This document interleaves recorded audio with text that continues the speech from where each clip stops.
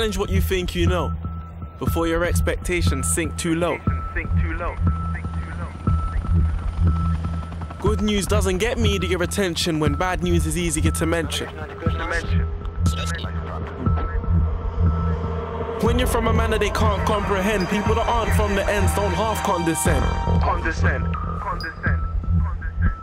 And the good outweighs the Good bad. outweighs the bad. But if you read the headlines, you would think there's no such balance. Yet on the contrary, there's so much talent.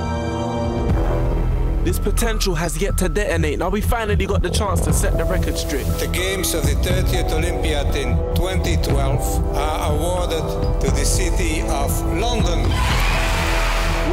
We're about graft and proper unity.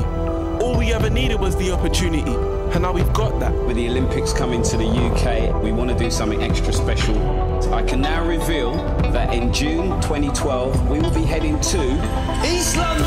East London. Whatever you're interested in, there's an opportunity in some sort of event attached to the games that you can go to. Right here in Hackney, Radio 1 have got the two-day festival for free.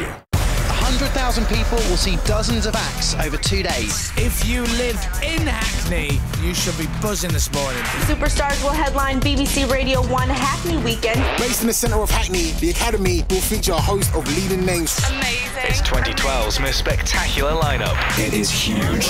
Huge. Radio 1 says an unprecedented number of people tried to apply for tickets and that caused delays. We are honoured to welcome the Olympic torch to the stage with our very own Fearne Cotton. Hi, Rihanna. I'm excited. This is the biggest event we have ever done. Wow. People, we bring you noise! It's gonna be a madness for something of that scale to be going on there. Jay-Z! Hackney Weekend is the biggest event of this year. Jessie J will be there. It's going to be amazing. It's going to be epic. The biggest pop music festival in the world, anywhere. The weekend of all weekends. The biggest weekend of your summer. From my hometown, a weekend that will bring the house down. Let's do this! The wait, the wait, is finally over. Young nation, it's our chance to shine. Come on! BBC Radio 1's Hackney Weekend 2012. Including. Let's go! Swedish House Mafia. Jack White. Ed Sheeran. Sean Paul. Nicki Minaj. Kasabian. Jay Z. Plus loads more. Loads more.